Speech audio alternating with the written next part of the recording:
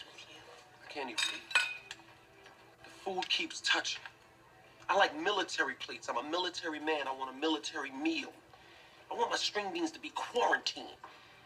I like a little fortress around my mashed potatoes so the meatloaf doesn't invade my mashed potatoes and cause mixing in my plate. I hate it when food touches. I'm a military man.